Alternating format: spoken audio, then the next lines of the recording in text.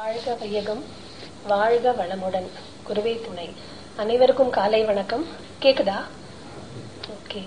இன்னைக்கு நம்ம வந்து விழிப்பு நிலையின் மேன்மை அப்படிங்கறத பத்தி கொஞ்சம் சிந்திக்கலாம். அதாவது ஒரு ரெண்டு வருஷம் முன்னாடி ஃபோர்ப்ஸ் அப்படிங்கிற ஒரு ஆங்கில பத்திரிகை நம்ம எல்லாருக்குமே நல்லா தெரியும். ஃபோர்ப்ஸ் மேகசின் ஸோ அந்த பத்திரிகையில ஒரு ரெண்டு வருஷம் முன்னாடி ஒரு ஆய்வு நடத்தினாங்க. என்ன அப்படின்னா எத்தனை பேர் இந்த உலகத்துல விழிப்பு நிலையில இருக்கோம்? எத்தனை பேர் விழிப்பு நிலையில இல்ல? அப்படிங்கறத அவங்க வந்து ஆய்வு நடத்தினாங்க. அந்த ஆய்வோட முடிவு என்னவா இருந்துச்சு அப்படின்னா தொண்ணூத்தி அஞ்சு சதவீத மக்கள் வந்து விழிப்பு நிலையில இருக்கும் அப்படின்னு அப்படிங்கிற நினப்புல இருக்காங்க. ஆனா ஆக்சுவலி பத்துல இருந்து பதினஞ்சு சதவிகித மக்கள் மட்டும்தான் அந்த விழிப்பு நிலையிலேயே இருந்துட்டு இருக்காங்க அப்படின்னு சொல்லிட்டு. இப்போ நம்மெல்லாம் ஆப்வியஸ்லி அந்த பத்து பதினஞ்சு சதவீத கேட்டகரியில தான் இருப்போம். பிகாஸ் நம்ம மன்றத்துல வரோம் தவம் எல்லாம் பண்றோம் அப்படிங்கறதுனால எத்தனை பேர் இப்போ விழித்திருக்கீங்கன்னு தான் நான் பார்ப்பேன். அதனால அப்பப்ப கேள்வி கேட்பேன். ஓகே சோ அப்போ பதினஞ்சு பத்துல இருந்து பதினஞ்சு சதவீத மக்கள் தான் வந்து விழிப்பு நிலையில இருக்காங்க. சோ இப்ப பாக்கி எண்பத்தஞ்சு சதவிகிதம் ஏன் விழிப்பு நிலையே இல்ல அப்படின்னு அடுத்த ஆய்வு நடத்தி பார்த்தாங்க. சோ அப்போ அதுக்கான காரணங்கள் வந்து மூணே மூணு அப்படின்னு அவங்க சைஸ் அவுட் பண்ணாங்க. முதல் காரணம் வந்து நம்மளுடைய வீக்னஸ் அதாவது பிளைண்ட் ஸ்பாட் அப்படின்னு சொல்லுவாங்க. இப்போ உதாரணத்துக்கு எனக்கு வந்து சாப்பாடு தான் வீக்னஸ் அப்படின்னு நினைச்சுக்கோங்க. அப்போ ரெண்டு நாள் முன்னாடி ஆபீஸ்ல வந்து பாஸ் நம்ம டார்கெட் அச்சீவ் பண்ணிட்டோம் அப்படின்னு சொல்லிட்டு ட்ரீட் கொடுத்தாங்க மதியம். ஓசி சாப்பாடு அதனால நல்லா கட்டியாச்சு. நைட் வந்து பயங்கர டைரியா அடுத்த நாள் என்னாச்சு? அப்போ விழிப்புணர்வு இல்லாம தான் நான் சாப்பிட்டிருக்கேன். அதனால எனக்கு டைரியா நெக்ஸ்ட் டே என்னோட பெஸ்ட் ஃப்ரெண்ட் வந்து இன்னைக்கு என்னோட பொண்ணுக்கு பிறந்த நாள். அதனால இந்த ரெஸ்டாரண்ட்ல பார்ட்டி கொண்டாடுறோம். கண்டிப்பா வரணும்னு சொல்லிட்டாங்க. அப்போ அதுக்கு போய் தான் ஆகணும். ஆனா அப்பவும் திருப்பி வயிற்றுல கண்டினியூ ஆயிட்டு தான் இருக்கு. ஆனாலும் நான் என்ன பண்றேன் எனக்கு சாப்பாடு ரொம்ப பிடிக்குங்கிறதுனால அங்கேயும் போய் நிறைய சாப்பிடுறேன் அமைதியா மோர் குடிச்சிட்டு பேசாம அட்டன் மட்டும் பண்ணிட்டு வந்திருக்கலாம். பட் நான் அப்படி பண்ணல.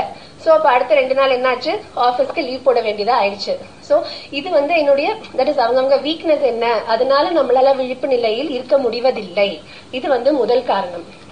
ரெண்டாவது காரணம் என்ன அப்படின்னா நம்ம எல்லாருமே வந்து நக்கீரன் பரம்பரை. எப்படி? நமக்கு அடுத்தவங்க குத்தம் மட்டும்தான் கண்ணுக்கு தெரியும். நம்ம பண்ணது வந்து நமக்கு நம்ம யோசிக்கவே மாட்டோம். சோ இப்ப ஒரு சூழ்நிலையில அவங்க அப்படி நடந்துக்கிட்டாங்க அப்படின்னா அவங்க அவங்கள பத்தி நல்லா நம்மளால எல்லாமே கருத்துக்கு அந்த சாமியா ஆயிடுவோம். நக்கீரன் பரம்பரையா ஆயிடுவோம். எல்லார பத்தியும் அவங்க அப்படி நடந்துக்க கூடாது அப்படி இப்படின்னு சொல்லுவோம். ஆனா நம்மளை பத்தி நம்ம யோசிச்சு அதே சூழ்நிலையில நம்ம இருந்தா நான் எப்படி நடந்துப்பேன் அப்படிங்கறத பத்தி யாருமே யோசிக்கிறது கிடையாது. சோ நம்ம எப்படி அந்த சூழ்நிலையில பிஹேவ் பண்ணுவோம் அப்படிங்கறதும் வந்து நமக்கு ஒரு ஐடியா இல்ல. நம்ம அதை பத்தி யோசிக்கிறதும் இல்லை. இதுதான் ரெண்டாவது காரணம். மூணாவது காரணம் என்ன அப்படின்னா நம்ம பொதுவாகவே மனுஷங்க எல்லாருக்குமே இருக்கிற ஒரு நேச்சர் நம்ம சென்டர் ஆஃப் அட்டென்ஷனா இருக்கணும். நம்ம வந்து அந்த மையத்துல கவனத்துடைய மையத்து இதா இருக்கணும் அப்படின்னு சொல்லிட்டு. ஸோ அப்ப ஃபார் எக்ஸாம்பிள் நான் ரெண்டு நாள் முன்னாடி கத்தாரா போனேன். கத்தாரால ஒரு போட்டோ எடுத்தேன்.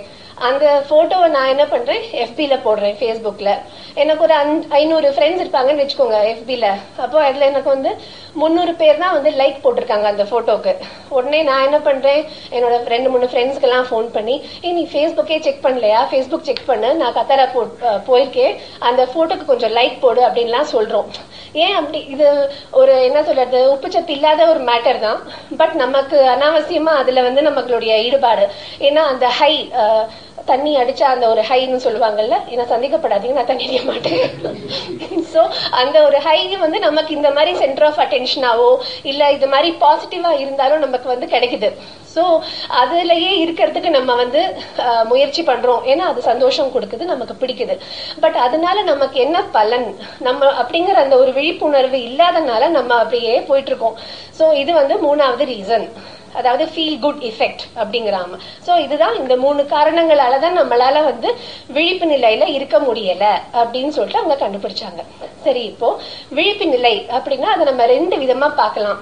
ஒன்று வந்து உள்நோக்கிய விழிப்பு நிலை இன்னொன்று வெளிநோக்கி அதாவது internal self awareness external self awareness internal self awareness தான் உள்நோக்கிய அதாவது நான் யாரு என்னுடைய என்னை பத்தினா என்னுடைய புரிதல். அதாவது என்னுடைய ஆசைகள் என்ன? என்னுடைய கோல்ஸ் என்ன? நான் வந்து என்னுடைய குணாதிசயங்கள் என்ன? இந்த சுச்சுவேஷன்ல நான் எப்படி ரியாக்ட் பண்ணுவேன்? அப்புறம் என்னுடைய வீக்னஸ் என்ன? அதை நான் எப்படி திருத்திக் கொள்ளலாம்? ஸோ இதை பத்தின என்ன பத்தின என்னுடைய புரிதல் தான் வந்து அந்த உள்நோக்கிய விழிப்பு நிலை. இப்போ ஒரு இந்த உள்நோக்கிய விழிப்பு நிலைன்னு நீங்க ஆக வருது. அமெரிக்கால ஒரு நாலஞ்சு வருஷம் முன்னாடி ஒரு வயசான அம்மா ஒரு எண்பது எண்பத்தஞ்சு வயசு பாட்டி. அவங்க வந்து டே தினம் அவங்க டைரி எழுதுற பழக்கம் இருக்கு அவங்களுக்கு. ஸோ அவங்க வந்து என்ன பண்றாங்க ஒரு நாளைக்கு எழுதுறாங்க. என்னோட ஸ்மார்ட் போன்ல வந்து டச் ஸ்கிரீன் வந்து வேலை பார்க்கல. ஸோ நான் ரெண்டு நாள் முன்னாடி சர்வீஸ்க்கு கொடுத்துருக்கேன். இன்னைக்கு காலையிலேருந்து பக்கத்தில் ஏதோ டிரான்ஸ்ஃபார்மர் அவுட் ஆயிடுச்சுன்னு சொல்லிட்டு அதை ரிப்பேர் பண்றாங்க. ஸோ வீட்ல வந்து காலையில இருந்து கரண்ட் இல்ல. அதனால ஒரு ரெண்டரை நாள் நான் வந்து வெளி உலகத்துல இருந்து பயங்கரமா துண்டிக்கப்பட்டிருக்கேன். ஆனா எனக்கு அது ரொம்ப பிடிச்சிருக்கு. ஏன்னா இந்த ஒரு ரெண்டரை நாள்ல தான் நான் ஒரு ரொம்ப ரொம்ப எனக்கு வாழ்க்கையிலேயே நான் ரொம்ப இத்தனை நாள் பண்ணாதது ஒண்ணு பண்ணியிருக்கேன். ஒரு நல்ல பர்சனை நான் மீட் பண்ணியிருக்கேன். இந்த பவர் கட்டு இல்ல இந்த போன் ரிப்பேர் ஆனது தான் அதுக்கெல்லாம் காரணம். அதுக்கு நான் ரொம்ப கிரேட்ஃபுல்லா இருக்கேன். ஏன்னா நான் யார பார்த்தேனோ எனக்கு ரொம்ப மகிழ்ச்சி கிடைச்சது. யார் அவங்க? ம்? ஆ சரி. என்ன நானே வந்து புரிஞ்சுக்கிட்டேன். அப்பதான் ஓ இவ்வளவு நல்ல லேடியா நானு. இவ்வளவு நல்லது பண்ணிருக்கேனா இவ்வளவு வீக்னஸ் இருக்கா? எனக்கு என்ன ரொம்ப பிடிச்சிருக்கு அப்படிங்கறதே நான் வந்து அப்பதான் உணர்றேன். நம்ம எல்லாருமே இன்ஃபேக்ட் இந்த பாட்டியம்மா மாதிரி தான் இருக்கோம். நம்மளை நம்மளே புரிஞ்சுக்கிறது கிடையாது. அடுத்தவங்க சொன்னாலும் நம்ம ஓ அப்படியா? அப்படின்னு நம்ம இது பண்ணிக்கிறது கிடையாது. ஏதோ மேம்புல் பெஞ்ச் மாதிரி போயிட்டே இருக்கும். பட் அப்படி பண்ணியாச்சுன்னா நமக்கு ஆறாவது அறிவு கொடுத்து கொடுக்கப்பட்டிருக்கு இல்லையா? சோ அப்ப விழிப்பு நிலையில இருந்தாதான் நம்ம வந்து நமக்கு நல்லது. அப்பதான் மனுஷன் அப்படின்னு சொல்லிட்டு ஒரு இது நமக்கு உண்டு இல்லையா? சரி. இப்போ விழிப்பு நிலைனா அதே இது வந்து இன்டர்னல் உள்நோக்கிய விழிப்பு நிலை. வெளிநோக்கிய விழிப்பு நிலை அதாவது எக்ஸ்டர்னல் செல்ஃப் அவேர்னஸ் அப்படின்னா என்ன அப்படின்னா இப்போ வந்து நம்மள நம்மளே எப்படிங்க புரிஞ்சுக்கிறது? உள்நோக்கியது. நம்மள அடுத்தவங்க எப்படி புரிஞ்சு வச்சிருக்காங்க அப்படிங்கிறது தான் இந்த இது வெளிநோக்கிய ஒரு இது. அதாவது நம்ம நிறைய பார்த்திருப்போம் ஒரு பூனை இருக்கும் கண்ணாடி இருக்கும். அந்த கண்ணாடியில பிம்பம் வந்து சிங்கத்தோடது இருக்கும். அதாவது நம்ம நம்மளே பயங்கரமா நினைச்சுக்கணும். அதுதான் நம்ம நம்மளை பத்தி என்ன நினைக்கிறோமோ அதுதான் அல்டிமேட் அப்படின்னு சொல்லிட்டு. சோ அப்ப வந்து என்னோட நினைப்பு நான் வந்து பூனை ஆனா நான் வந்து சிங்கம் மாதிரி இருக்கேன்னு சொல்லிட்டு. வெளியில உள்ளவங்க என்னை பத்தி சிங்கம் நினைக்கிறாங்களா பூனை நினைக்கிறாங்களா இல்ல எலி நினைக்கிறாங்களா எறும்பு நினைக்கிறாங்களான்னு எனக்கு தெரியாது. சோ இந்த இதுதான் வந்து அந்த வெளிநோக்கிய விழிப்பு நிலை அப்படிங்கிறது. சோ அது வந்து அதுக்குன்னு மத்தவங்க நினைக்கிறது எல்லாமே நம்மளால எல்லாரையுமே சாட்டிஸ்ஃபை பண்ண முடியாது. அது நம்ம வேலையும் கிடையாது. பட் ஏதாவது யாராவது கமெண்ட் பண்ணாங்க அப்படின்னா அது வந்து நம்மளுடைய அஹ், குணாதிசயங்களுக்கு எதிர்ப்பா இருக்கு. நம்மளால திருத்திக்க முடியும் அப்படின்னா அதை நம்ம கன்சிடர் பண்ணி நம்ம வந்து திருத்திக்கலாம். அதுக்கும் அகைன் விழிப்பு நிலை தேவை. இல்லைன்னா வந்து அவ என்னை பத்தி எப்ப பார்த்தாலும் கிரிட்டிசைஸ் தான் பண்ணிட்டு இருக்காங்க. அந்த மாதிரி ஒரு மனநிலை தான் நமக்கு இருக்கும். விழிப்பு நிலையில இருந்தாதான் அந்த சொல்லுக்கு பின்னாடி இருக்கிறது ஏன் என்ன அப்படிங்கிற அந்த ஒரு இது நமக்கு கிடைச்சு நம்மளை நம்மளே திருத்திக் கொள்ளறதுக்கான சந்தர்ப்பம் கிடைக்கும். சோ இதுதான் வந்து எக்ஸ்டர்னல் செல்ஃப் அவேர்னஸ் அதாவது வெளிநோக்கு விழிப்பு நிலை. சரி இப்போ வந்து நம்ம விழிப்பு நிலைனா என்னன்னு ஆல்ரெடி எல்லாருக்குமே தெரியும். நான் சும்மா ஒரு ரிவிஷன் தான் தரேன். ஓகே சோ அதை நம்ம எப்படி மேம்படுத்திக்கலாம்? எப்படி அதை கொண்டு வரலாம்? விழிப்பு நிலைய எப்படி எப்ப பார்த்தாலும் நம்ம கிட்ட விழிப்பு நிலையோடயே இருக்கிறதுக்கு நம்ம என்ன பண்ணலாம்?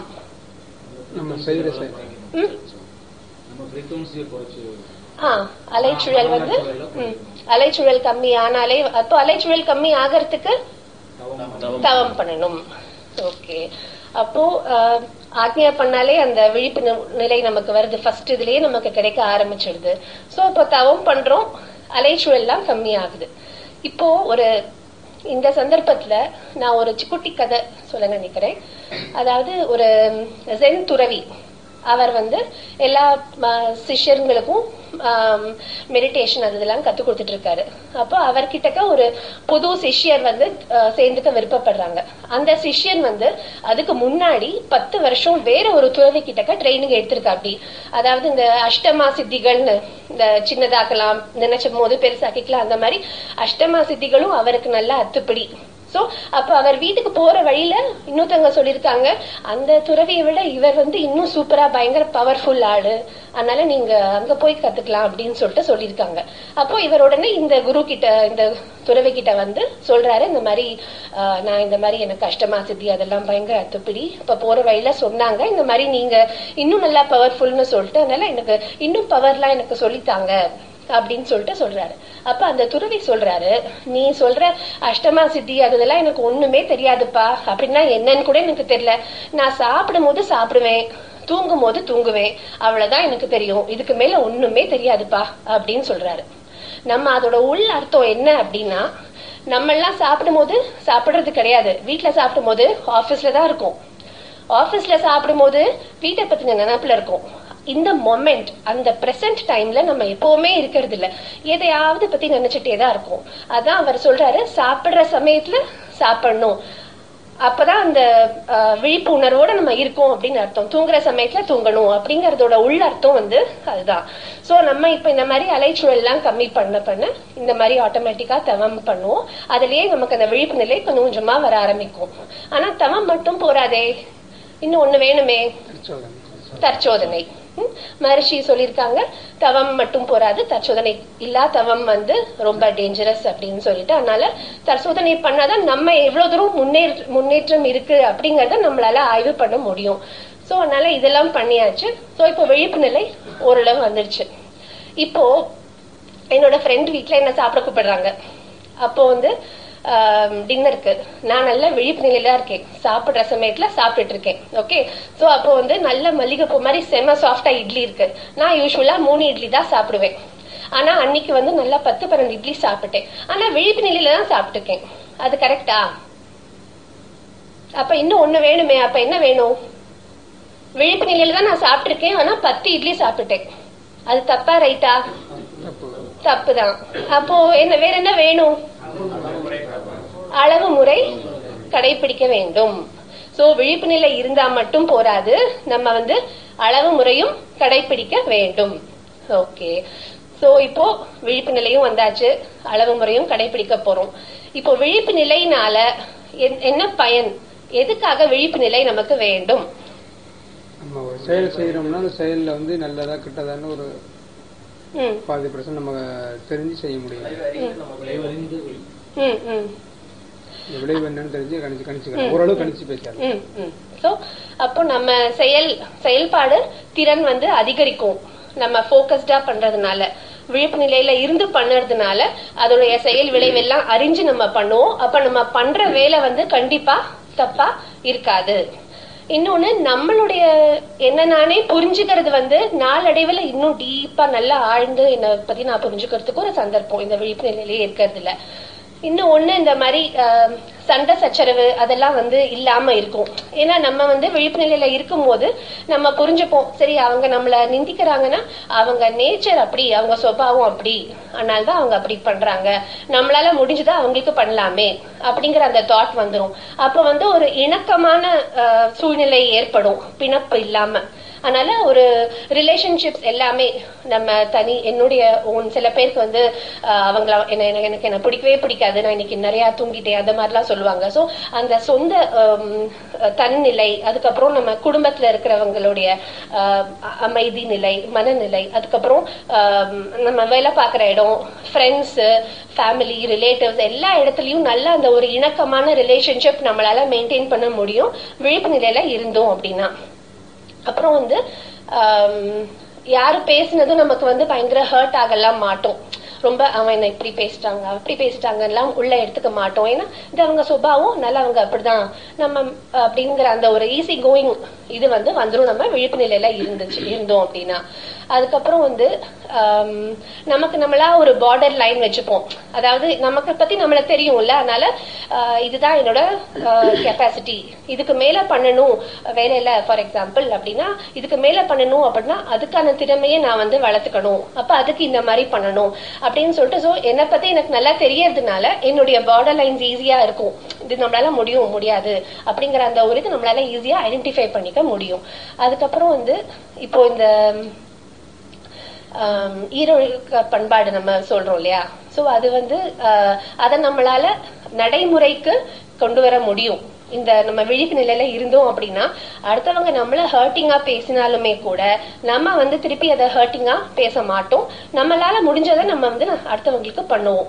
ஏன்னா நம்மளுடைய எண்ணங்கள் சொல்லு செயல்கள் எல்லாமே வந்து திறன்படும் கண்டிப்பா towards good and positive thing அதனால விழிப்பு நிலையில எப்பவுமே நம்ம இருக்கிறது வந்து ரொம்ப நல்லது.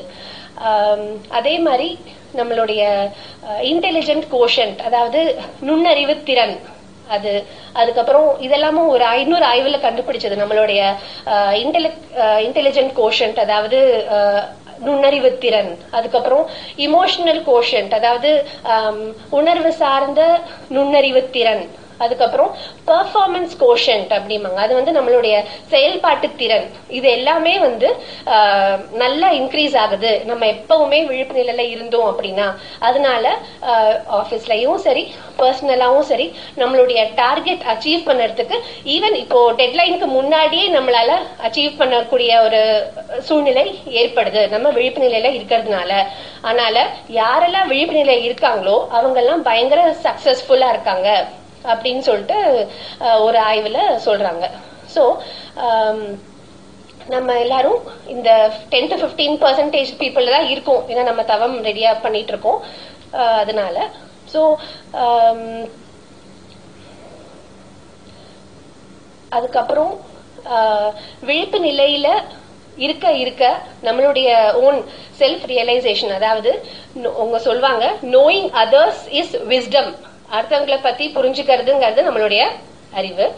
But knowing yourself is enlightenment நம்மள நம்மளே அறிஞ்சினாதான் அதுதான் வந்து அல்டிமேட் ரியலைசேஷன் அப்படின்னு சொல்றதுனால நம்ம எல்லாம் இங்க வந்ததே ஆன்மீக ரீதியாக நம்மளுடைய தேடலுக்காக தான் வந்திருக்கோம். நம்மளுடைய அஹ், நம்மள நம்மளே இன்னும் மென்மைப்படுத்தி கொண்டு இது மாதிரி விழிப்பு நிலையிலேயே எப்பவுமே இருந்து நம்ம நினைச்சதை சாதிச்சு அல்டிமேட் ரியலைசேஷன் என்னவோ டுவர்ட்ஸ் தட் நம்ம போகலாம் அப்படின்னு சொல்லிட்டு இந்த சான்ஸ் கொடுத்த முத்து சார் எல்லாருக்குமே வந்து நன்றி தெரிவிச்சு நான் முடிச்சுக்கிறேன். வாழ்க வளமுடன். இது எல்லாருக்கும் இன்னும் ஒரே ஒரு வேண்டுகோள் நான் விடுக்க விரும்புறேன். நான் ரெண்டாயிரத்தி பதினஞ்சு வரைக்கும் இங்க இருந்தேன். ஆஹ், ரெண்டாயிரத்தி பதினஞ்சு ஃபார் குட் ஊருக்கு போயிட்டேன். பட் இங்க இருக்கிற மன்றம் அதே ஒரு ஃபீல்ல அங்க ஊருக்கு போய் ஆஹ், நம்ம எதிர்பார்த்தோம் அப்படின்னா வந்து நமக்கு அவ்வளோ இது இருக்காது. Um, பிகாஸ் அங்க வந்து கொஞ்சம் பாலிடிக்ஸ் ஜாஸ்தி ஊர்லங்கும் போது பிளஸ் இவ்வளோ அளவு மக்கள் அங்க வந்து வரமாட்டாங்க. வேற ஸ்ட்ரீம்ஸ் நிறைய இருக்கும். அதனால வந்து நமக்கு சர்வீஸ் பண்ற சான்ஸ் வந்து ரொம்ப ரொம்ப ரொம்ப கம்மியா இருக்கு ஊர்ல.